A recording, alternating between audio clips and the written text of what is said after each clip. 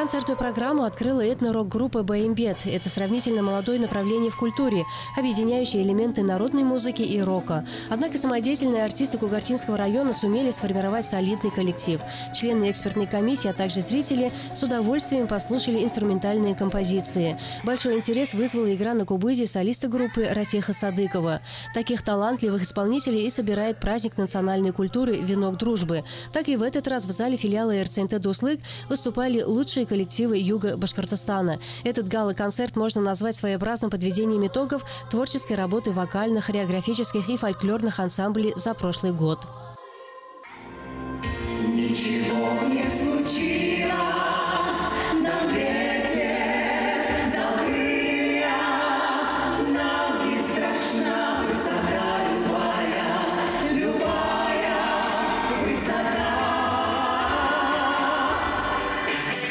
Программа фестиваля многогранная и отражает культуру народов, проживающих в нашей республике. Здесь можно было услышать народные и эстрадные песни на разных языках, увидеть современные и национальные танцы, насладиться богатой палитрой звучания национальных инструментов. Все участники «Венка дружбы» являются лауреатами и победителями различных конкурсов, как районных, так и республиканских.